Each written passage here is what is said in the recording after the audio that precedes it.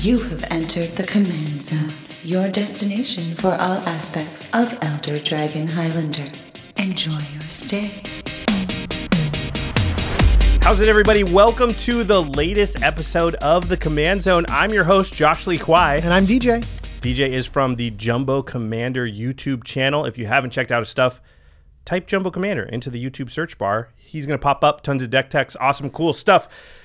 It's a very exciting time of year, DJ. I am so excited. Uh, this is like, it's Commander Christmas. It's the best time of year. Oh, yeah. It really Okay. is. So this deck has just been spoiled, and we are going to do this. Sorry, it's the Saheeli, the blue red artifact commander deck from 2018. We got it. We got got planeswalkers it. as commanders. oh yeah, we finally got the artifact blue red artifact commander that we've been wanting. In fact, a few Oh of them. gosh. Yes. So it's, It's, it's literally like Christmas where you you open up your presents and it's like it's everything I ever wanted. I asked I asked Watsy Santa for this and I got it. and I got it.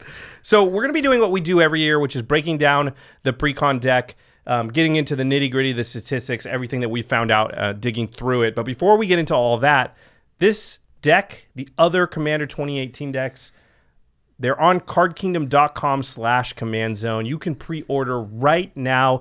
And listen, you're watching this show, you're probably going to buy some of this product or maybe all of it regardless. And just a quick reminder, we've got a promotion going on right now. Again, through that affiliate link with Card Kingdom, any sized order you place in the month of July, and you'll receive in the mail with your order a code, and that code will unlock the exclusive Game Knights logo background in our app, Lifelinker. It's the only way to unlock that background. And again, let me reiterate, it only applies to orders made in the month of July. So, as of the time of this recording, you've got a couple of days left. Make sure to place an order of any size to get that code. And another big shout out for our other sponsor, Ultra Pro. You know, we're sitting here, we're looking at the beautiful Saheeli playmats. There are Saheeli deck boxes, there are Saheeli sleeves.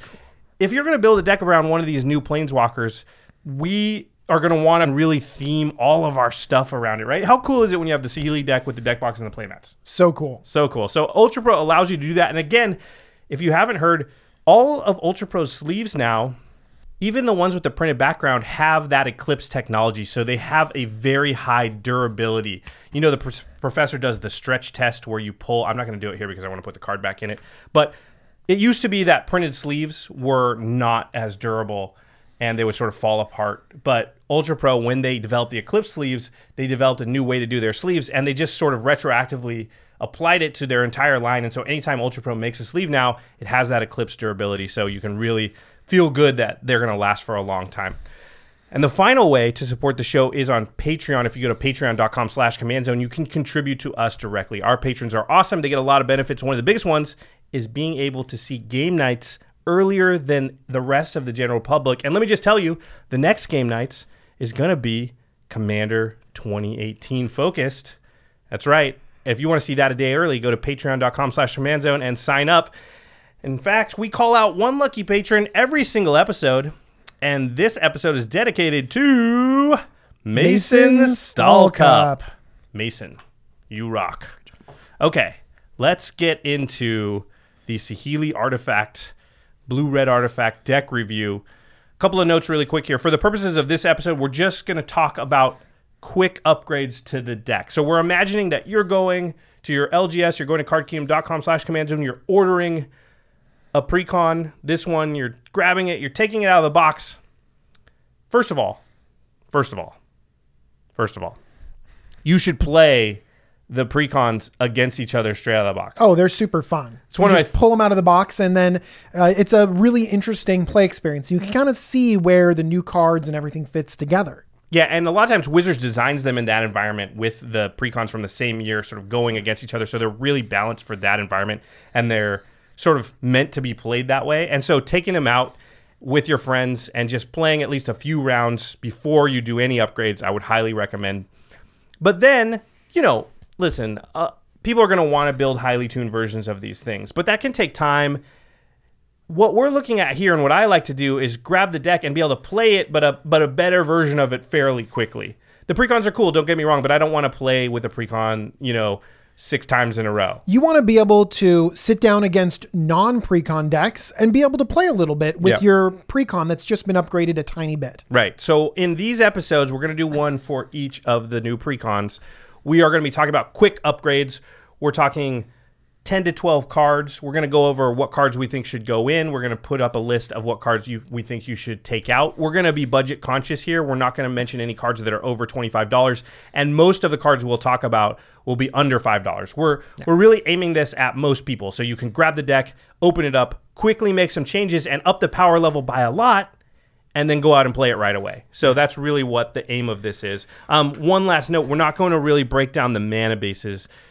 Most of these could use a mana base, like if you want to go to focus or optimize on our. On I our think level. that basically you could go through your binders and say, well, that's a land that matches, that's a land that matches. You don't need us to tell you that. right, and also honestly, like most of the precons, the mana base is going to work. It's not going to hold you back too much. So that's not something that's like of dire need of instantly upgrading. There's a lot of basics, and actually, basics are pretty good. Yep. They come into play untapped, so there's not really a lot of work that needs to be done in this specific deck. Okay, so let's read the headliner. She's on the box. She's the Planeswalker. It's Saheeli the Gifted. There are actually four new commanders or creatures that can be your commanders in this uh, deck. So Saheeli the Gifted is two, a blue, and a red. Four mana total for a four loyalty Planeswalker Saheeli. You can plus one and create a 1 1 colorless servo artifact creature token. So you can play her on four. She goes to five. You get a 1 1 servo. She has a second plus one ability. It says the next spell you cast this turn cost one uh, generic mana less to cast for each artifact you control as you cast it. For each artifact you control. Right. Wow. So it's a really interesting ability in that if you have five artifacts out, you plus one Saheeli, the next spell you cast will cost five less to cast. Wow. Yeah. Now That's a huge reduction. it is a huge reduction. It's kind of, I mean, you could cheat out really big things, right? Yeah. There's an interesting wording that I noticed, which is it says for each creature you control as you cast it. So in response to you plus wanting this ability, some could someone could destroy a couple of your artifacts, and then when you go to cast the spell, Oh. yeah. So you got to watch out a little bit for that. It's not going to come up a ton because instant speed mask artifact removal is not super common, but a cyclonic rift or something at the wrong time could really mess you up. Uh, or what's your favorite underrated card? My favorite underrated card. Two in a blue. Oh yeah, rebuild. Rebuild. rebuild would be really good. I'm like, uh, uh, uh, uh, would destroy it. Would you? You'd be like, I'm about to go off, and I'm gonna plus Yeah. my Saheeli to play this big a rebuild. Yeah, exactly. with that, with that plus on the stack, I'll just rebuild. ooh, ooh, ooh. And then she has an ultimate ability, which is really interesting. It's negative seven. It says, for each artifact you control, create a token that's a copy of it. Those tokens gain haste. Exile those tokens at the beginning of the next end step. That's really interesting because the ex- I wouldn't expect the exile clause to be on an ultimate from a planeswalker. Yeah, I kind of. I think that this ultimate is pretty powerful, just doubling up all the artifacts that you have in an artifact deck. It might not be game winning though, which is what we kind of expect off of Planeswalker's ulti- ultimates. Yeah, I kind of do like that, um, honestly, because maybe people won't be as keen to like just take out your Saheeli as fast as possible because they're they can't let the ultimate ever happen. Depending on what your board looks like, they might be like, "Eh, the ultimate's not as scary, so I'm not gonna go. I'm not gonna go nuts like trying to kill her." One great thing for playing Saheeli is that the thing I'm scared of most is that middle plus one ability of casting huge things with Saheeli. Yeah, And that's really hard to interact with. very hard. Um, she also does have sort of a writer clause at the end that says Saheeli the Gifted can be your commander, which you would expect since she's on the cover of a Commander 2018 product. So that's sort of one of our possible choices. One of the things we like to do in these episodes is look at um, the other commanders in the deck that are a possibility and just kind of say, well, it's not always a given that you'll just play the one that's the oversized card that's on the box. Sometimes you might want to play one of the other commanders. Also gives us a good idea of what other things might be going on in the deck and why certain cards are there and, you know, other decks we might want to build. That's right. So one of the other legendary creatures in the deck is Tawnos, Urza's apprentice. Ooh, it's Tawnos. it's That's Tawnos. pretty cool. Is this the first time we've seen Tawnos? Tawnos as an actual like person? Character? Yeah. As a character? 'Cause we rather than just his artifacts lying around. Right, yeah. I Okay. don't know. I don't know. But he's got some powerful artifacts, so I'm excited. Okay. Uh, Tawnos is a blue and a red for a 1 3 legendary human artificer. Tawnos has haste. Okay. So you can attack with that 1 3 immediate. No, it has an activated ability. Uh, blue and a red tap. Copy target activated or triggered ability you control from an artifact source. You may choose new targets for the copy. So it kind of Rings of Brighthearth's an artifact you control. Yeah. Rings It of doesn't say non mana. No, it just says activated or triggered ability you control from an artifact source. So it has to be from an artifact source, but usually you can't copy the produce mana part. That's why It's a Strionic Resonator too because it's activated or triggered. yeah. Oh. My brain is immediately like I know. putting together the synapses are firing. What if I combine this with this and copy it? So we want artifacts that do powerful things, that uh, tap to do some crazy stuff or have great triggered abilities. And this seems like a great toolbox to just make the rest of your artifact deck just double up and really start humming. There's got to be some crazy combos. I mean, already Staff of Domination seems insane with this card. Oh my gosh, yeah. Yeah. It's got haste. I like that it has haste. Yeah, 'cause- Because for two man you can get everything going, you know, and your commander's just sitting there in the command zone. And then when you have something really important, a tr- um, important trigger or an important activated ability, you cast it and then boom, you're immediately doing what you need to do. Okay, so we've got Saheeli who cares about just kind of having a lot of artifacts in general. We've got Tawnos who wants your artifacts to have abilities, whether they're triggered or activated. Yeah. Okay, the third commander, and usually these decks have three commanders. Um, that's traditionally just been how they've built them, which three commanders in the colors, and then sometimes there's like another commander within the deck that's like uh, two of the three colors or one of the two colors. So the the other um, is it commander is Brudiclad Telchor Engineer. I have no idea if I pronounced any of that correctly, except for engineer. I'm pretty sure. it's four, a blue, and a red. That's six mana total for a four-four. Six mana. That's a lot. Okay. Legendary artifact creature artificer. It says creature tokens you control have haste. That's interesting. Haste is good. Then it says at the beginning of combat on your turn, create a 2 1 blue mirror artifact creature token. Then you may choose a token you control. If you do, each other token you control becomes a copy of that token. So you turn all of your tokens into a copy of one of your tokens. And this guy makes a token, so you automatic.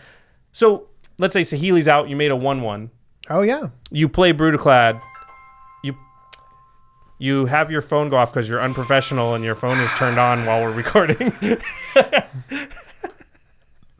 Hi, I'm recording. Is this important? oh, not for a while. I love you very much, though. I'm going to turn my phone on silent now. so if you have Saheeli out and you plus one or make a servo, then you play Brudiclad, and at the beginning of your combat, he'll create a 2 1. And then after the 2 1's created, you can say, Oh, I want all my tokens to make a copy of the 2 1. So at the very least, like your 1 1s become 2 1s. Like that's not. That's the that's the least. I think I think that we're we're aiming a little bit low here because I think that I mean, there's some tokens. better, I'm just saying. There's some tokens out there that are pretty powerful. Does it have to be an artifact token? No, it's just any token. Any token. And it doesn't care the ones that it's changing it. I can't pick the card up off the table. It doesn't care the cards that it's changing. That's why you into need tokens. a playmat. Yeah, A Saheeli playmat. it doesn't. Yeah, it doesn't care what kind of tokens they are at all. The artifact part is totally immaterial. And all of your tokens have haste. correct. So any token you play, regardless of right. So that So mirror. that even it though makes- this is in like an artifact deck and it creates an artifact, this is kind of a, a is it token general. what I really want to do is just have a bunch of servo tokens and turn them all into clues. And just draw a lot of Josh cards. wants to That's draw all all I the cards. okay, so those But are but hang on, he's thinking outside the box because Right. it's not just any token. Like it can not, change not into just a clue. creature token, right? Yeah. Yeah, so it can turn into a token. If you can make a token of something that's a non-creature, you can turn all your tokens. Well, and if you that. can make clues, then you can turn those clues into right? uh, any sort of gigantic token. Why would you do that? You the You clues can already, already do what you want. already draw why, cards yeah, off the why are you changing? They can't become better It's than true. that. Yeah. Okay. You're right. Okay, so those are the three is it commanders that we're going to consider here. But there is one other commander in the deck. Now you can't out of the box run this as a commander because it's mono red, Yeah. but it's cool. We have Varchild, Betrayer of Kjeldor. Two and a red for a 3 3 legendary human knight. Whenever Varchild, betrayer of Kjeldor. Why are you saying like that? the- the- how else would you read it? you're right, you're right. How else would you read it? Uh, whenever it deals combat damage to a player, that player creates that many 1 1 red survivor creature tokens. Survivors your opponents control can't block, and they can't attack you or a planeswalker you control. When Varchild leaves the battlefield, gain control of all survivors. I'm a survivor. I'm not sorry. That is We don't do songs anymore. Jimmy's gone. You're You're welcome. You're welcome. No, Jimmy will come back and he will just just have so many songs. that was in the com- that was in the comments. They're like they're like Why did I you guys miss I sing miss my songs. Yeah, it's funny because when we sing, people are like, "Stop singing." Um, okay, so Varchild swings, hits your opponent, and then however much damage Varchild did, that opponent that many. that opponent gets that many one-one Yeah, survivors. you don't get them yet. But the that survivors, opponent gets them. the survivors can't attack you, and can't they block. can't block. So they can't just throw them away blocking, and and then if Varchild is it leaves the battlefield. yeah, So so you swing at Jimmy, you, he gets three Sure. survivors. Then you swing at Mel, she gets three survivors. Then you swing at Craig, he gets three survivors. I don't know why I'm doing that. I'm just gonna Yeah. keep swinging at Jimmy. He can't block, and then he can use all of his survivors against everyone else. Actually, Either way, so let's say so many survivors. let's say there's nine survivors out there, and then somebody goes, "Okay, I've had enough of this. I'm gonna swords Varchild," and you go, "Sweet, I get the nine survivors." Yes. I'm confused though. Like there's like from a flavor standpoint. So Varchild is like a raider, and it's going around. and It's clearly like raided a town or village, and Th- there is a flaming like village behind it. Yeah, behind. so like it has left the survivors are refugees that have had to flee to like another country. Oh no, no, I get it. So then once the warlord is defeated, they go back home. everyone. Yep. Oh.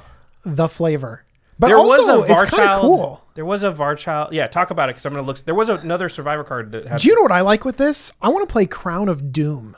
okay, I don't even know what that is. So Crown of Doom is an artifact, and uh, basically it gives all creatures that attack the person that has Crown of Doom plus two plus O. But you can pay two mana to donate Crown of Doom to someone else. And once you donate the Crown of Doom to one of your opponents, they can never give it back to you. So your opponents all just keep passing around this horrible artifact that allows people to attack them with much greater power. Uh, and you p- then provide everyone else with survivors to go attacking. and plus, you want to attack them too because you're Exactly. Oh, I like that. So you give everyone kind of like weird power buffs and you make everyone attack. Maybe you do tempt with vengeance and you get some cool elementals with haste, but then you give everyone else an opportunity to get them too. I like this a lot. So the card I was thinking of is Varchild's War Riders. It was one in a red for a three-four. Has trample and rampage one, but cumulative upkeep was put a survivor token into play under target opponent's control. Treat this token as a one-one red creature. Would Varchild give? I mean, obviously you'd get them back, but it would would it make them so they can't attack you or? Survivors, your opponent's control, can't block and they can't attack you or planeswalker you control. So Varchild doesn't care where the survivors came from. just survivors, your There opponent's go. control. And then you get them because it says when it leaves the battlefield, gain control of all survivors. Pretty cool. Pretty Two cool. card combo. By the way, two mana, three, four trample rampage. It's pretty good. Look at that value right there. I am I'm gonna build this deck. Okay. I'm gonna build this deck. I'm you know so you really are becoming Jimmy because that's I the know. Oh. mono red one. So we'll get him singing very soon, everybody. okay. Um, so let's talk about the stats of the deck. Those are the four new commanders. There are some reprint commanders. We won't go over all of them. Um, oh, you, do you know the stats thing? Have you ever done it before? Stats. Stats. You don't go like stats, stats, stats, stats, stats. We could. We could add that to it now that you're here. We'll practice it. Stats. Stats, stats, stats. Did I do it right? I don't even know. This is your this is your thing. There's clearly a lot of stats going on. on There's it. clearly a lot of stats going on. Okay, I'm excited. So we do this every time. So of course there are four categories where I always we always talk about card draw, ramp, targeted removal, and board wipes. This deck has about seven card draw spells. Um, it's sort of estimated because there's three mana rocks that can draw cards if you sacrifice them, but I wouldn't count Mind Stone as like a card draw spell, right? So uh, I kind of added it up. There are some that draw more than one card though. Um, then there are 14 14 um, ramp spells, all artifacts as you would imagine, but that's a lot. Um, there are five targeted removal spells, a little low, but about right. sure. Five and five for target removal and board wipes is usually what we want. And there are four board wipes. So again, slightly low, but not like criminally low. This is these four categories I've noticed they've gotten a lot better at. When we first started doing the show, these numbers were all over the place. And now we're pretty close to the 10 10 5 5 that most decks want. Well, 14 ramp is really good, Yeah. especially when you can find ways to utilize those artifacts. Yep. So all, two of the commanders, Saheeli and Tawnos, care about artifacts specifically, and Saheeli cares about them a lot. And so I was wondering how many artifacts are in the deck, and there's 33 artifacts in the deck. Now we know from the commander deck building template that usually if a deck cares about a thing, like it's an elf deck or merfolk deck, or if it's a not just tribal, if it's a instants and sorceries deck or whatever, you usually want around 30 of that thing at the least. The Shadowborn Apostles deck wants about 30 Shadowborn Apostles. That that number is pretty consistent across across decks that care about a thing. So 33 is very good. Plus there are six non-artifact artifact cards that create artifacts. Um, one of the new ones is Loyal Apprentice this is there's an entire loyal cycle so there's a loyal something for every color this is the red one it's one in a red for a 2-1 it's a human artificer with haste it's, it has lieutenant so lieutenant, Lieutenant is back. yeah lieutenant's back lieutenant's an old mechanic from a commander set that basically says this creature cares about if your commander is on the field with it um, and it says at the beginning of combat on your turn if you control your commander create a 1-1 colorless Thopter artifact creature token with flying, and that token gains haste until end of turn. So it's a 2 mana 2-1, but if your commander's also out, it makes a Thopter every combat and gives the Thopter haste. And it has haste. A decent card, especially if you want artifacts on the battlefield, it has a chance to sort of give you an artifact every turn. Yeah. Um, then, because Tawnos cares about artifacts, triggers, and activated abilities, I was curious how many cards in the deck, how many artifacts in the deck sort of had those things that Tawnos might interact with. And there was about 14 to 15 um, of these, which is a decent amount. Uh, So it's not going all in on the secondary commander, but there's Yeah. enough so that if you have Tawnos out, you can do something. right, exactly. And one of the new ones that I think is pretty cool. Retrofitter Foundry. This one mana artifact has four activated abilities on it. Trading Posts, little brother. Well, almost like Trading Post. It might be like something else. When the first ability is three generic mana to untap uh, Retrofitter Foundry. That sounds like, Oh, like Staff of Domination instead. oh, so this is go infinite, somehow do something with infinite mana, basically. We're always very wary when something says untap this thing. Yeah. Okay, so the first thing is three generic mana untap uh, the Foundry. Then the second ability is two in a tap, create a 1 1 colorless servo artifact creature token. Okay. Uh, the next one is one and tap, sacrifice a servo, create a 1 1 colorless Thopter artifact creature token with flying. And the last ability is tap, sacrifice a Thopter, create a 4 4 colorless construct artifact creature token. So they're kind of like adding to. They take servos in, add wings to it. Now it's a Thopter. Yeah, that's Take right. Thopters in, add whatever to it, and now it's a what is it? construct, 4 4 construct. construct. They literally they have, they have to rip the wings off again then. yeah. Yeah. Well, maybe they just add. They just add so stuff. much armor to it, Yeah. it can't fly anymore. Yeah. He's got little wings on its back, like trying to fly. And it's like, nope, you're not going to fly. Uh, but this seems pretty cool. If you have a bunch of mana to sink into this, you can go infinite because you can untap this. If you have infinite mana, you'll make infinite amount of four fours. Yeah, Now, if you had Brudiclad out, all your tokens would have haste. that's in true. In which case you would just win at that point. Um, so that seems pretty good. But also, it's just yeah, it's just a value engine. Like sometimes you create a servo, sometimes you make it into a Thopter. I mean, if someone, if you just happen to have a Thopter, which we know exists in the format, this can upgrade your Thopter into a 4 4. Yeah. Just, yeah, I'm going to have a 4 4. I'm going to upgrade into a 4 4. That seems okay. might have threat of activation too, where you swing in with a Thopter. They've got like a some sort of flyer, but they can't block because if you do, you can change it into. Is it only anytime you can make? Well, you have to sacrifice it. So, Oh yeah, it, won't, it doesn't change. It well, but basically, what you do is you just swing in with a bunch of stuff. Someone's like, well, I'll block that Thopter. And you're like, yeah, no, I'll just get a That one's a 4/4 now. Yeah, or construct instead. Uh, okay, so there's that's one of the 14 or 15 ways in the deck to sort of um, synergize with Tawnos. Would you consider copying this this ability? I think the four four. See, so the way that it's it's templated, right? You tap sacrifice a Thopter colon, so you don't have to sacrifice another Thopter. So now you can sacrifice one Thopter to make two four fours. with seems Tawnos. pretty good. You'd need a red and a blue, obviously, in ta- with Tawnos. I'll, I will play a red and a blue for a For two four four four-fours. con- construct for sure. if you have the Loyal Apprentice out, it just makes the Thopter, and then with the Retrofitter Foundry, turning the Thopter into a 4 4 is zero mana. You just tap the Retrofitter Foundry. Like, that's kind of nuts. This seems like there's a lot of synergy existing between these newer cards that we're seeing here. Almost like they designed the deck that way. Uh, okay, so Brudiclad obviously cares about tokens in a couple of different ways. And so I was curious how many token makers there were in the deck. And there's about nine. Loyal Apprentice is one of them. Uh, Varchild's one of them. There's a few cards that make tokens. And then Brudiclad's interesting, though, because really you need a way to make big tokens in So order to really. the Yeah. biggest one we have is a four four so far. Right. And so that's pretty good. Like if I had a bunch of servos from Saheeli, a couple Thopters, and then Brutaclad comes out, and I could just make one 4 4, now all my uh, tokens turn into 4 4 constructs. And they have haste. Right. So I was like, okay, so there's nine token makers total, but only about three or four make big tokens. Um, Is four considered a big token?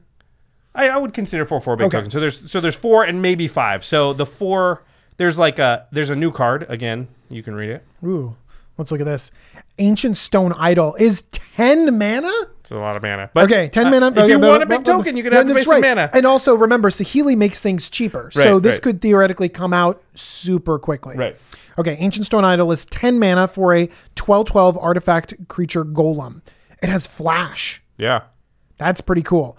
Uh, this spell costs one generic less to cast for each attacking creature. So you flash it out while attacks are happening. Whoa. Uh, it has trample. And when Ancient Stone Idol dies, create a 612 colorless construct artifact creature token with trample.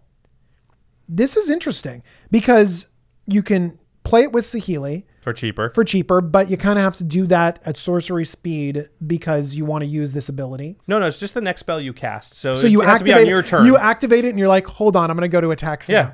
Now." that's pretty cool. Yeah. get a huge discount. Um, also, this has flash, and it's for each attacking creature that's So- not your own attacking creatures. Correct. So if your opponent attacks you with five creatures, this costs five less to cast. You flash in. Plus, it blocks one and eats one probably. Yeah, Yeah.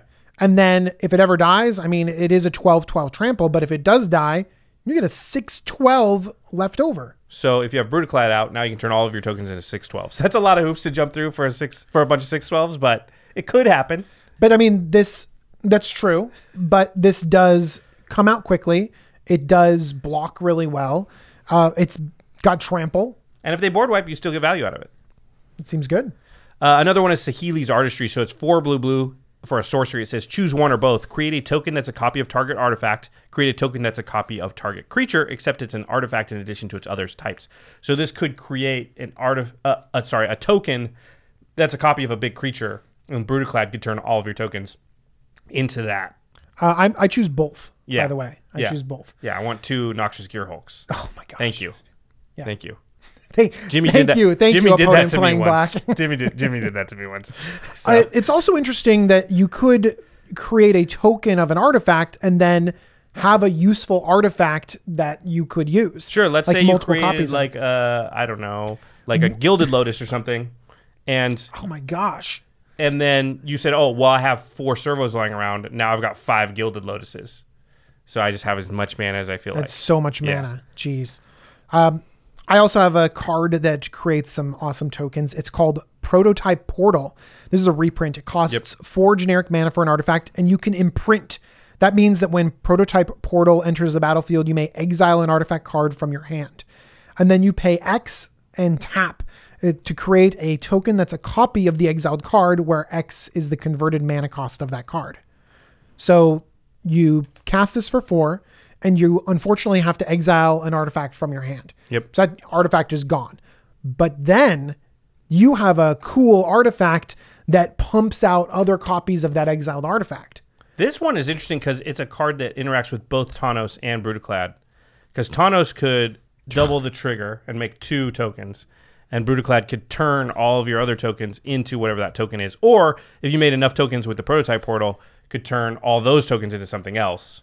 That's great. Yeah. This is risky though. Like Yes. things about this card and Isochron Scepter. Yes. You you always get so worried about imprinting something on it because you want to imprint something good, but you're so worried that it's just going to get destroyed before you have a chance to get a lot of value out of it. You almost don't want to play this until you can activate it on the same turn, just to sort of guarantee yourself some value.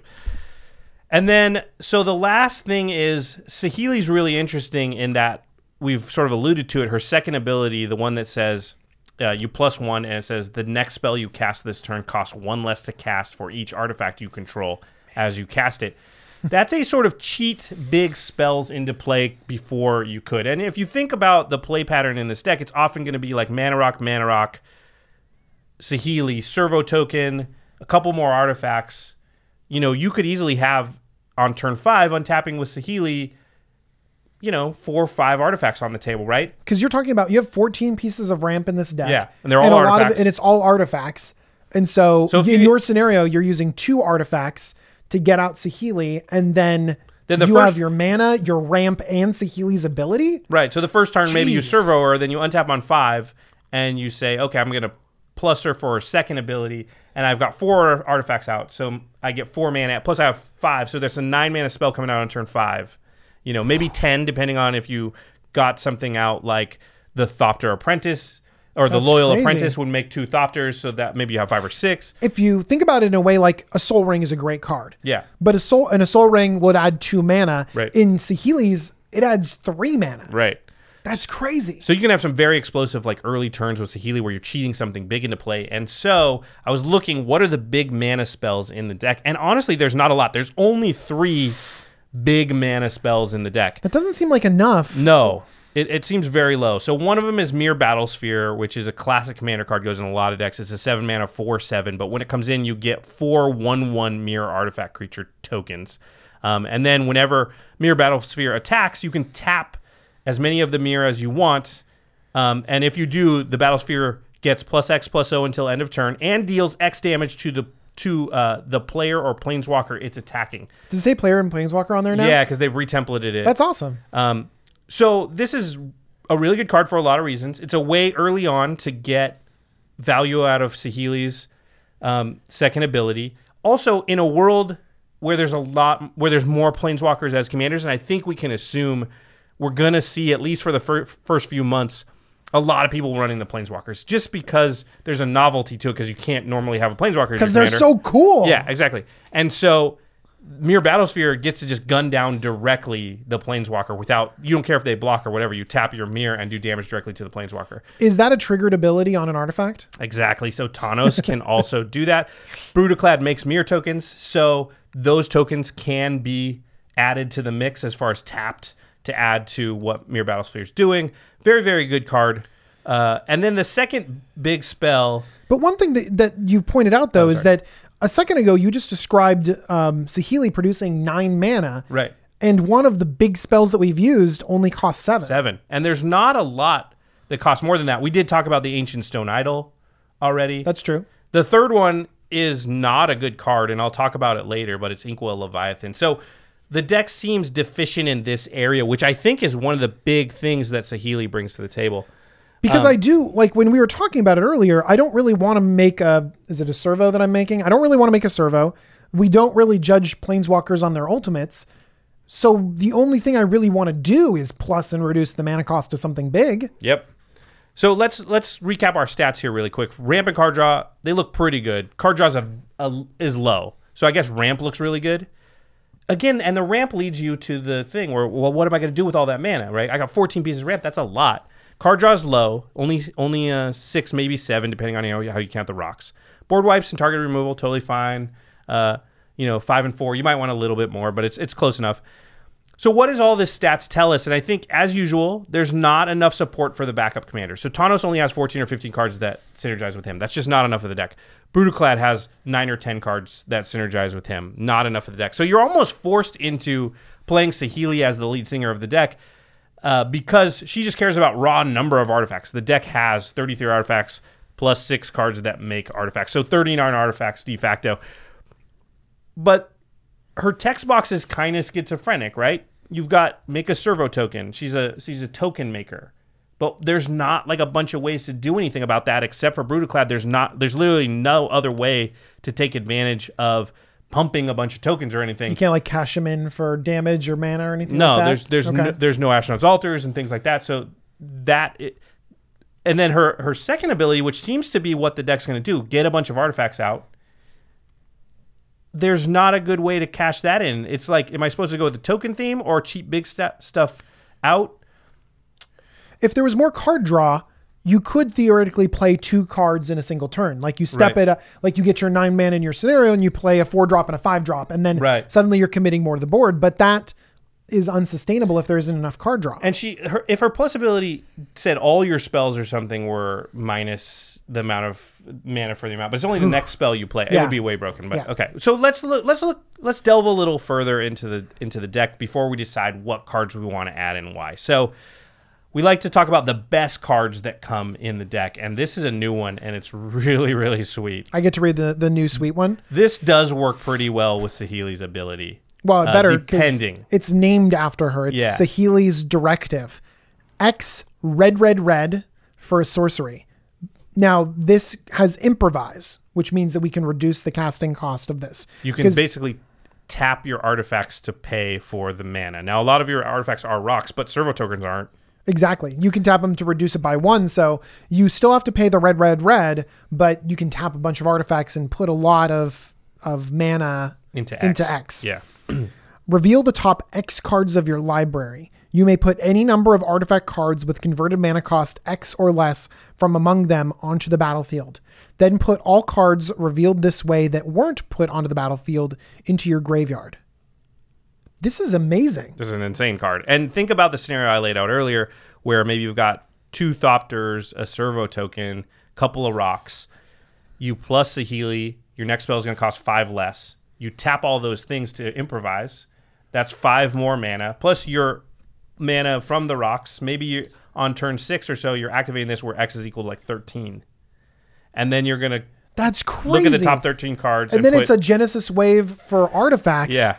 And you could But do it, it's easier to cast because it has improvise on it. and you could do it really early because of Saheeli. It is narrower because it only hits artifacts.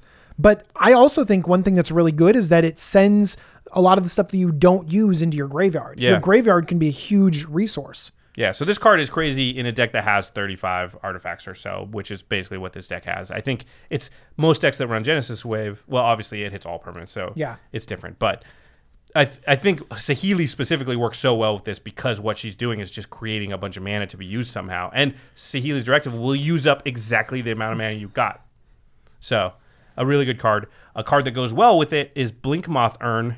It's five mana for an artifact. This is another one of the best cards in the deck. It says at the beginning of each player's pre combat main phase, if Blinkmoth Urn is untapped, that player adds uh, colorless or diamond mana for each artifact they control. So this is a symmetrical effect. Yes. So if my opponents have artifacts, they will get mana off of this. I'm just assuming that your your opponents do not have 35 artifacts in your deck and, and stuff that creates token artifacts and things like that as their Totally. We're going to get so much mana off of this. They thing. might get two, and you're going to get seven, and I like that exchange. Yeah, definitely. So this is another way to sort of, but again, this is on the same plan, right? Create a bunch of mana. What am I doing with it? Let's talk about the worst cards in the deck, cards that we're definitely going to take out. Why I think they're bad. This is just bad in relation to this deck. I don't. To me, I think these cards don't have homes in other decks, but I would take them out of this deck. Uh, the first one, I think we both saw it and we thought it was interesting, but we didn't like it. Coveted Jewel is six mana for an artifact, and when Coveted Jewel enters the battlefield, draw three cards. Wait, you don't like this? You draw Why three wouldn't you cards. like that? When it enters the battle, there's more text, but you draw three cards when it enters the battlefield. Okay, then you can tap it to add three mana of any one color. It just keeps getting better. Why the heck don't we like this card? There's one more line of text. Here we go. Whenever one or more creatures an opponent controls attack you and aren't blocked, that player draws three cards and gains control of Coveted Jewel.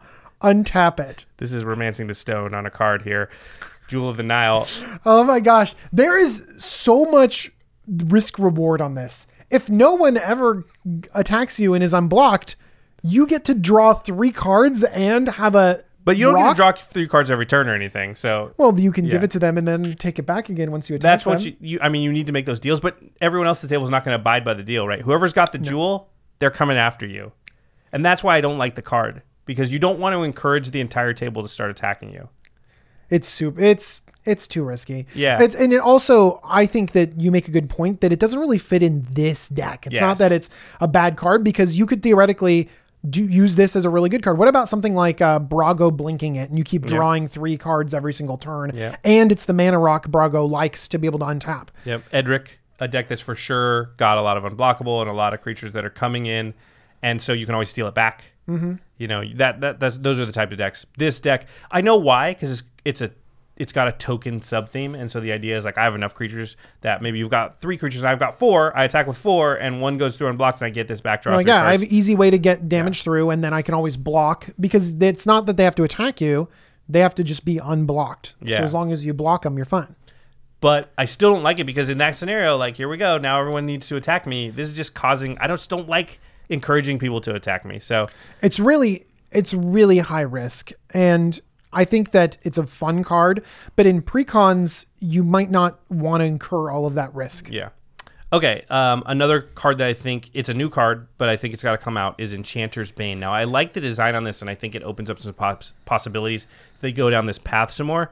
This card itself is kind of a miss. It's one in a red for an enchantment. At the beginning of your end step, target enchantment deals damage equal to its converted mana cost to its controller unless that player sacrifices it.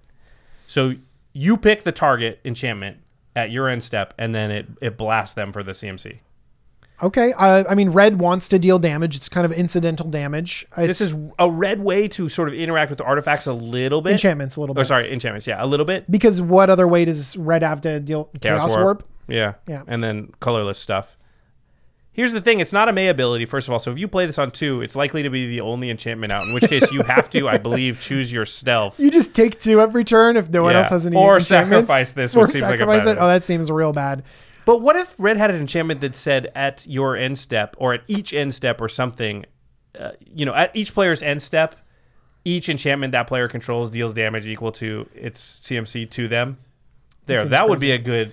Right now, this is this is interesting because, like you said, this is an area that they're exploring and they're going to see how it's played. But that card Uh, itself is a dud. Let us know if you plan on playing this card in a specific situation or something like that. But this is at the end Oh, of your turn, right? step. Yeah, it's your end step. No, it doesn't work that great for. But I mean, there are a lot of enchantments that go unpunished from red decks. Zendikar Resurgent. So Yeah.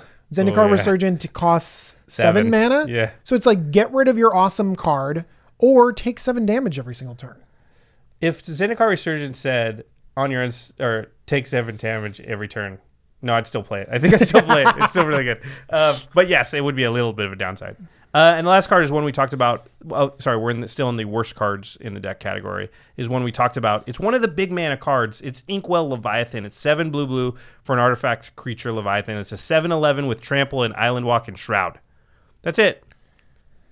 It's like I'm gonna cheat something out really early, and it's gonna hit you for seven. Do you know what makes me puts me off of this and makes me the saddest? Is that I can't Saheeli's Artistry it. Yeah. Uh, what do you mean? So, oh yeah, yeah. Because Shroud. shroud. Yeah. So I can't make it into a token and then make all my things a token of that. You could imprint it though on Prototype Portal. but then you got to pay nine. We're going- we're ma- going deep. Then you got to pay nine mana to activate We're your Prototype deep. Portal. So, okay. So let's take stock here. We are. Oh, sorry, I skipped a section. Notable reprints. Um, this there there are sort of two, one and a half, I guess. One's decent. It's Unwinding Clock. It's four mana. Oh, I like that. It was like it kissed the table as it went off. Its Unwinding Clock is four mana for an artifact. Untap all artifacts you control during each other player's untap step. This was getting seven, eight bucks. It's not a super expensive one. It's a good card too Yeah. because it's like a seedborn muse for your artifacts. artifacts, That's yeah. great. This would go in a Tawnos deck for sure. Saheeli's going to take advantage of it less, but there's still some stuff. Yeah. And then Duplicant, uh, not a super expensive card, worth a couple of bucks. It's one we talked about um, on the episode with Gyrus. where It's a great preview card, too. Like this goes Yeah. in a lot of decks. So when you pick up this deck and you start tinkering it or breaking it apart, uh, Duplicant goes in a lot of different places. Yep. So those are kind of the two that we see. Now we're not finance people, so I would encourage you. And and at the time we're recording this, the deck lists aren't available to the public, so can't really like go online and put in the whole deck list and check. So a site. they shift so much the Yeah. prices because as soon as they're announced, then basically you pull all the numbers. Yeah, and they all kind of and adjust. they all start to to drop. But I think the number when it comes out is what's important. Like you're getting a high value card, even if the reprinting of that card kind of drops the price. The the value of that card to you is still sort of what it was before because they could have not reprinted it, right? Yeah. Um, so I would encourage you to go to my maybe like MTG Goldfish or something. They usually put the entire deck up and the price of each card in it, so you can kind of see what the the value in it is. But as far as I can tell, that was it. Unwinding Clock's kind of the, the biggest one in the deck. All right, so let's look at this thing out of the box. The biggest thing I notice about the deck is just kind of like it's there's a lack of ways to win the game. There's a bunch of token makers. There's really only one token maker that pumps all the tokens. It's Brudiclad, and you also have to jump through an additional hoop. It's not like it says pump all your tokens. You have to make a big token and then make all your tokens in that token to pump all of them. That's another hoop. Um, you can create a bunch of mana with Saheeli's second ability, but there aren't a lot of ways to take advantage of having a bunch of mana. I think there's sort of two strategies you could aim for without a complete overhaul of the deck. One is tokens. And so you could lean into the token thing, add in some stuff that pumps all the tokens, more token makers, take out some of the big mana stuff, and go for a token strategy. And That will lower it down a little bit closer to the ground, Yeah. and you can be a little bit more of an aggressive Thopter type deck. I wanted an Is It Thopter There you commander, go. and this could be sort of that kind of deck. there could be a shell for that in there. Um, the other way, and I believe the correct way to go, is the direction of big spells and cheating things into play with Saheeli's second ability, and and mostly because there's already so much ramp, and I really do think Saheeli needs to be your lead singer, as it were, just because there's not a lot of support. It requires more than changing ten cards to make the other two generals work. Remember, we have 14 cards that are artifact ramp. Yeah. We have cards that we identify as one of the better cards, like Blinkmoth Urn, in the deck, and all of those, and a commander that all lead us down a path of, well, let's play something big and awesome. and also in decks that are going after this goal, which is like create a bunch of mana, cast something large. You don't need a ton of the large thing, right? You don't put 20 things that cost 10 mana in your deck. You put five or six because you really just need to get one of those things at the right moment. You don't ever want to have three of them stranded in your hand. And so those changes are actually smaller especially since the deck is already leaning that way, has tons of ramp, has Saheeli's 2nd ability. So I believe that's the best way to make this deck good and you know more competitive quickly. Um, so here we go. This, we're going to talk about the ten cards that we would put in, and then we're not going to list all the cards we would take out, but we are going to put that in the show notes. So if you're interested in exactly what ten we would take out, it's obviously going to be the worst cards we talked about earlier, and then a few others. So, oh yeah, and um, any of these decks, this is going to be true. This one has blue in it. Yeah, add Cyclonic Rift. We're not going to talk about that. Okay. so let's talk about some general synergy cards. First of all, that I think are just too strong, regardless of the strategy, to ta- to, to not include. The first one is Daretti Scrap Savant. It's three in a red for a three mana planeswalker. It says plus two, discard up to two cards, then draw that many cards. Just great all by itself. Negative two, sacrifice an artifact. If you do, return target card, uh, sorry, target artifact card from your graveyard to the battlefield. So kind of like tinker something out of your graveyard. And that works with some of the big stuff that we have too. If we have a Myr, mirror Battle Sphere or a Duplicant or any of this big stuff in our graveyard, then we can get it back on the battlefield. What by sacrificing a servo? Yeah, that or a seems great. Or yeah, exactly. And then the negative ten is an ultimate, which doesn't matter, but I'll read it. You get an emblem with whenever an artifact is put into your graveyard from the battlefield, return that card to the battlefield at the beginning of the next end step. Josh, it's amazing. We should focus. No, it's it's too far. It's too hard to get to. Yes. Yeah, because because Daretti does enough good stuff just with its uh, plus and minus. And so the next card, General Synergy, is the Scrap Trawler. This card, if you're making an artifact deck, this card has to be in it. Ooh, Scrap Trawler is three generic mana for a 3 2 artifact creature construct. Whenever Scrap Trawler or another artifact you control is put into a graveyard from the battlefield, return it to your hand return to your hand target artifact card in your graveyard with lesser converted mana cost. So this is just turns all of your artifacts. Like it's not just Scrap Trawler that does this. It gives your artifact that costs six, like Duplicant, When it dies, you get a, a five drop or less artifact back to your hand. And you've also identified some artifacts mana ramp in here that you can change in for card draw. So you have the ability to get some artifacts straight into your graveyard and get them back again with cards like Scrap Trawler or cards like Daretti. That's a really good point. Is if somebody casts something that's going to kill one of your creatures or, or one of your artifact creatures, you could sacrifice Mind Stone real quick just to have that to get back to your hand, draw a card, get some card advantage out of it. Scrap Trawler is a very, very powerful card. Okay, let's talk about the fun stuff here. These are the big spells, the big spells we want to add, and I tried to keep these on the from a budget perspective on the reasonable side. You know, we could talk about Ulamog and Emrakul and stuff like that. Uh, which, if you have those, you should add them. But for most people, I think these cards are going to do the job. So the first one I have is Void Winnower. It's mean, Josh. It's 9 mana for an 11 9 Eldrazi. It says your opponents can't cast spells with even converted mana costs. Zero is even, by the way. And your opponents can't block with creatures with even converted mana costs. This usually turns off. I will be honest, I think actually even falls a little over 50%. Um, there just tends to be more two drops than one drops. So it turns off like 60% of your opponent's hands generally. a lot of board wipes are four. Yeah. So it turns off board wipes a lot of times.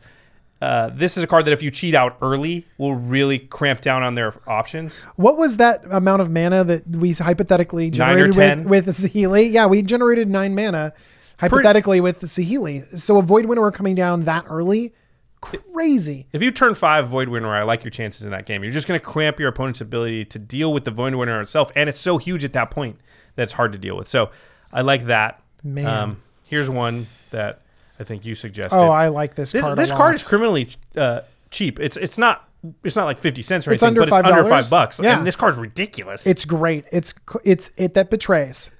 This 12 mana Eldrazi is an 11-11 with Annihilator 2.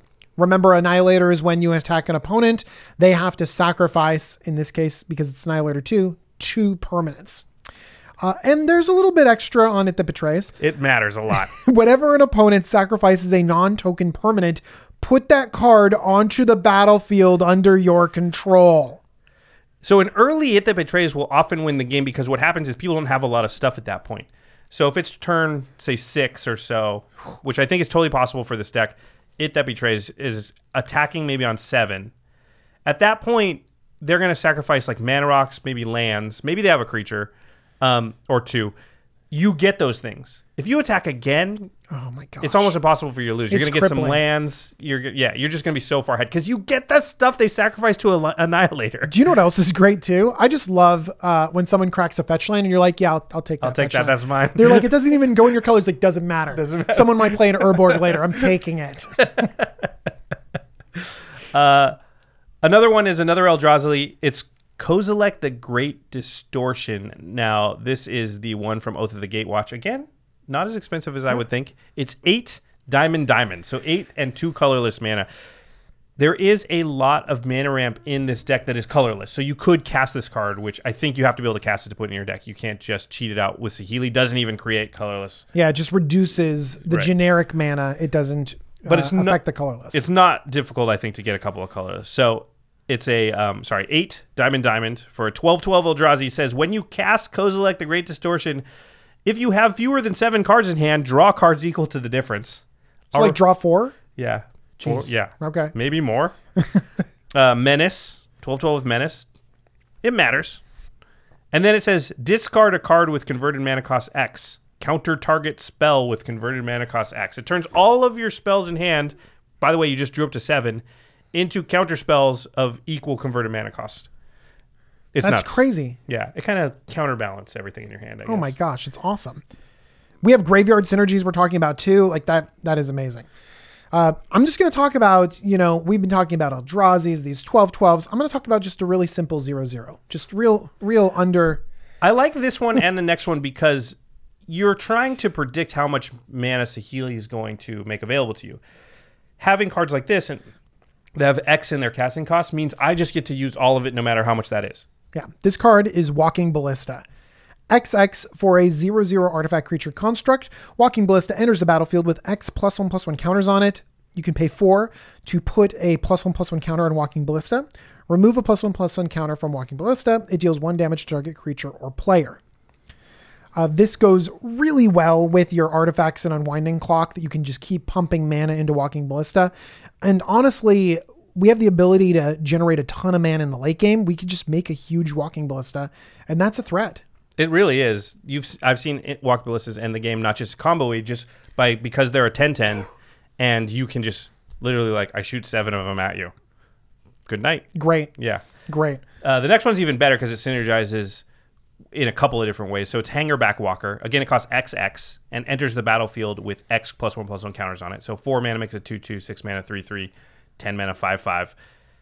When Hangerback Walker dies, you create a 1 1 colorless Thopter for each 1 1 counter on it. Oh my gosh. So if you ma- if if if Saheeli gives you like nine extra mana and you're able to pump another nine of this, it could be a nine nine that when it dies will create nine Thopters that Saheeli interacts with and counts as artifacts that are on the battlefield. And then you can pay one and tap the Hangerback Walker to put a one one counter on it. So it kind of grows a lot faster than the uh, Walking Ballista as well.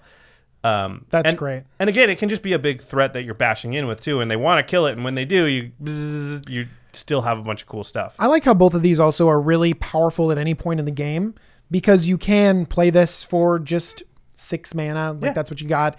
And then you got this awesome walking ballista or this awesome hangerback walker that you can just keep using excess mana, pumping things into, and you might end up having a lot of mana. Yeah, it's like I said, you don't want a bunch of void winnowers in your deck because if you ever f- find yourself in a position where you've got three in your hand, it's the worst because you you you can never cast that amount of stuff. They kill your Saheeli twice, and suddenly you're crimped in mana in two ways. Yeah. So it's great when your win some of your win conditions, walking ballista, hangerback walker, stuff like that, is versatile enough to play in a position where it's not winning the game, it's just stabilizing you or helping you continue to like keep up in the game.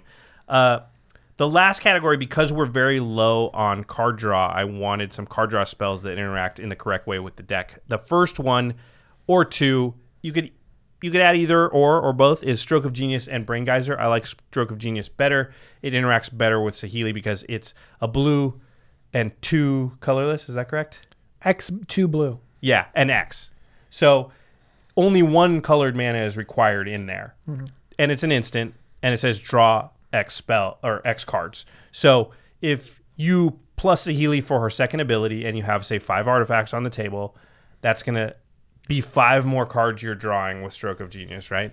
So, and again, we said I like X spells because they will take advantage of however much mana Saheeli is going to create. If it's if it just happens to be a crazy game where you're getting 14, you're gonna you're gonna draw 14 cards. Like, Jeez. yeah. So, I, I really like that. Brain Geyser is blue, blue, and X. Target player draws X cards. Almost as good, but it's not instant. Um, but Saheeli doesn't care as much because it says the next spell you cast. Yeah, you're going to be activating it on your turn. Yeah, exactly. Um, it's the next spell you cast this turn for Yeah. Saheeli, so you can't even like plus her and then wait for somebody else's turn. Yeah, that would be really cool if they would have just said next spell you cast. But still, so you- the next spell you cast, and then you like tick up Saheeli, you wait a whole turn, and then you tick Take up Sahili again. again. Jeez. I'm nine, I'm minus twenty two on my next spell, guys. Jeez. Uh, another card that lets you draw is a new one from M19. It's Sai Master Thopterist. Uh, two in a blue for a 1 4 legendary human artificer. And whenever you cast an artifact spell, lots of artifact spells, uh, create a 1 1 colorless Thopter artifact creature token with flying. One in a blue, sacrifice two artifacts to draw a card. So this automatically ups our artifact count without us doing anything. We have this on the battlefield, we play a few artifacts, and we just randomly end up with a few Thopters. That seems great. Yeah, I think it's great, and it synergizes in a couple ways. You do want Thopters, you want more artifacts on the battlefield, and it's card draw as well. So I think that's a pretty clear include. And the last one is Jhoira, Weatherlight Captain. That's the new Jhoira from Dominaria. She is two, a blue and a red, and she says that whenever you cast a historic spell, you can draw a card, and historic spell includes artifact. It's also legendary, uh, permanents, and sagas. So if you cast her before Saheeli, I don't know why you would, but if you did, then when you cast Saheeli, you get to draw a card. So it's not even just the artifacts. Or if you cast Sai Master Thopterist, which is a legendary creature, then you, you draw. go. Yeah. So that's the uh, those are the ten that we put in. Again, I'll run them down: Daretti, Scrap Trawler, Void Winnower, It That Betrays, Kozilek, Walking Ballista, Hangerback Walker, Stroke of Genius, and/or Brain Geyser, Jhoira, and Psy Master Thopterist. Josh, that's a good list. I Yeah, like that list. I think it gives the deck a plan and the ability to win. Um, one thing I wanted to talk about really quick is that Saheeli's ultimate. So you'll notice we didn't mention it a lot. For one, I think ultimates are going to be very hard to get to. I have played with all of these decks a couple of times in this environment. And I'll tell you that keeping track of which uh, Planeswalker can ultimate is something the entire table will do and will work together to make sure that nobody ultimates. So it's actually very hard to ultimate in the in when you're playing all four against each other. I haven't played them outside of that.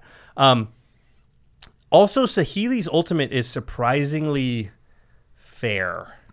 It's a weird ultimate. Usually, ultimates win you the game in some way or are so powerful on their own. Saheeli requires a lot from you. You have to have a good board presence when it happens. You have to have a lot of artifacts on the battlefield, and you only get the tokens until end of turn. Yeah, I'm thinking about a lot of our artifacts. We're talking about a bunch of them in mana rocks. Doubling up your mana rocks is fine. Fine, but not great. Um, we're talking about a lot of utility creatures like uh, duplicant, Thopters. thopters. Fine. A Duplicant, doubling up a Duplicant is fine. Doubling up a Myr Battlespheres is pretty solid. Mm-hmm. Um, but a lot of the cards that we really cared about, I don't know, like those those cards that you added. If we double up a hangerback walker, It'll just die. if we double up a walking ballista, just dies. we don't get to double up those great Eldrazi that we were talking about. Yep. So a lot of the cards that we think are like really great includes and match with the deck, they won't interact with the ultimate. underwhelming. it, the ultimate is very much win more. I think there are times where you're going to activate it. It's going to be great, but there's definitely going to be times where you could activate it. You just have enough loyalty, but you're like, it doesn't do that much. I basically make three more mana rocks and two thopters and a servo, and then she dies. Like, why? I'd rather just create more mana with her Keep that second. high loyalty so that you can keep plussing and casting more things. Yeah, so I it's, agree. It's an interesting thing. Okay. Uh, once again, we're not going to talk about all the cards we're gonna we would take out in place of those cards, but they will be in the show notes. So check down there. To the listeners, what do you think about the Saheeli deck? Do we? Is there any cards that you think are must includes that we've totally missed on? this card is this deck is so cool and is it artifacts is such an awesome like thing that we can dive into. I guarantee that there are a ton of cards that people are going to be super excited about playing. And I definitely think there are a lot of builds for this commander. That you, a couple of different directions you can go, and it doesn't have to be this one. I just think this one is a good way, like right away, to be able to just oh, upgrade Oh, yeah. it and get in there, get in the mix, play against real decks, and have a chance, and you know get a feel for how this deck works. If you describe upping the power level, like we want to take this out of the box, up the power level so it's competitive, uh, you did that with these cards, with these inclusions.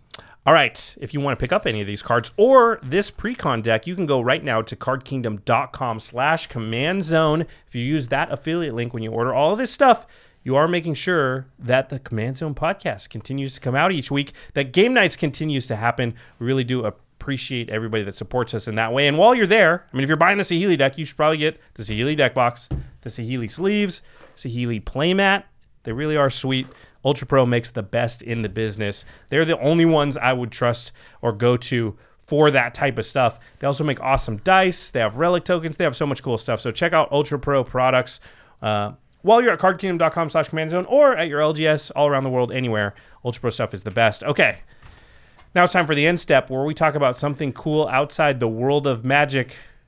DJ, you've said the last I got times- you. Yeah, I got you, Josh. Okay, I got good. you. Whew. So, uh, so first thing, a question for you. Um, did you watch the World Cup? Did you watch any of that? Are Oh, yeah. You, I are you a sports guy? I'm a sports guy. Yeah, um, I like sports. I didn't watch as much of the World Cup as I would have liked, but I, I definitely saw like the finals and I saw you know some some of the games for sure. Okay. What did you, did you think it was? Did you enjoy it? Like, was it a good? Yeah, I had a lot of fun. There was a couple of games that were crazy. Uh, I, we live in Los Angeles, and when Mexico made it out of the uh, out of the Swiss rounds, Yeah. there was a literal earthquake. It was pretty. There great. was because because they went that crazy. Everyone was like super happy. and like, registered on the Richter scale, like- all my friends were like, "Yes!" It was great. Yeah. Okay. Uh, I'm I'm like a, a little bit of a of a fan, but what I'm a real fan of is I'm actually wearing a shirt right now. I'm a rugby fan. oh. Yeah. Okay. Uh, I played rugby for like eight years. Oh, wow. I even coached rugby for several years afterwards. I had no idea. Yeah. You're a tougher dude than you look. Then Yeah. Well, I, I that was a while ago when I played rugby, but it that was sport it is was super- hardcore. it was fun, and guess what? It is in the Olympics this year. Yeah, rugby I- sevens, and it's going to be popular, and people are going to like it, and it's going to be great, and rugby's going to be a thing. I don't. Can I ask you a question about it? Of about the rules yeah. of rugby? Yeah. Like, there's that time when like they kind of like everybody kind of gets like shoulder, scrum. Shoulder. Yeah. How's that? What's the rule? Like, why does that happen, and how does it work? A scrum it takes place after some sort of infraction. oh, so it's a penalty. It's like a penalty kick. It's exactly? Okay. basically there's no there's no downtime the ball continue it's continuous play and there's only some sort of stoppage if the ball goes out of bounds or if there's some sort of infraction uh, the most common one is you pass the ball forward or you drop the ball and then you have a scrum and so literally you get all of the forwards all of the biggest guys and they come together and they just crash into each other and then there's a huge advantage to the player, the team that puts the ball in.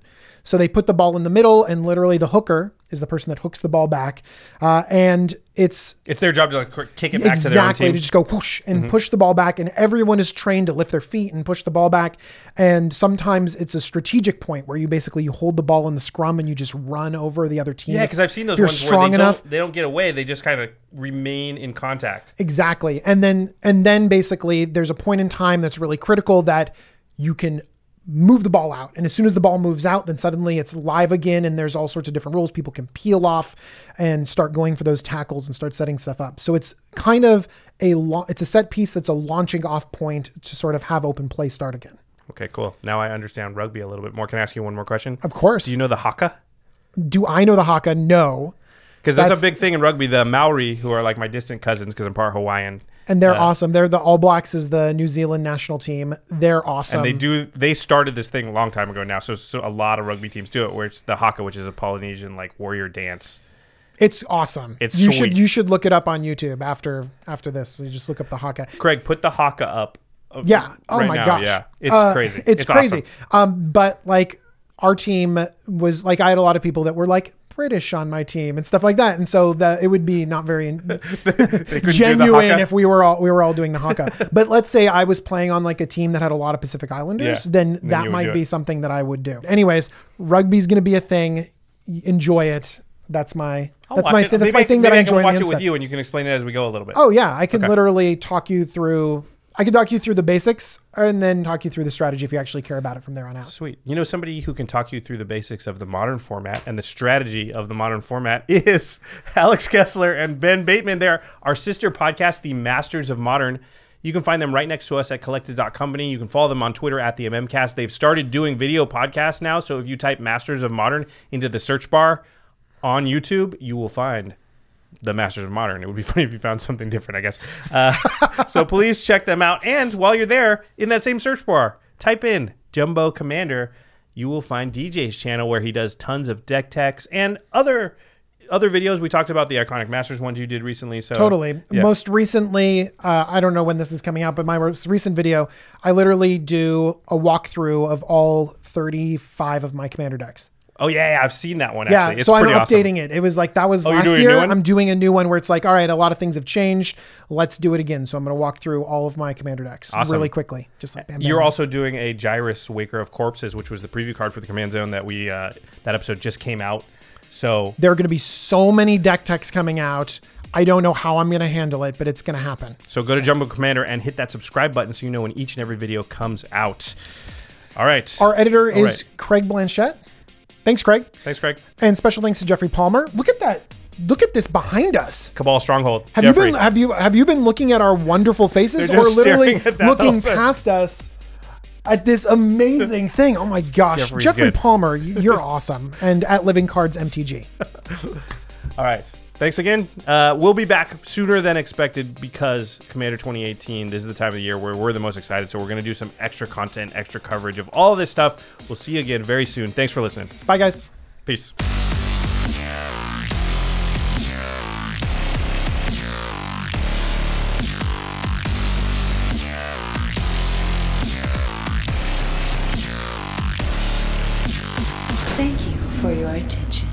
For further inquiries, send an email to commandcast at rocketjump.com or ask us on Twitter at JF Wong and at Josh Lee Kwai. See you later, alligator. Greetings, humans.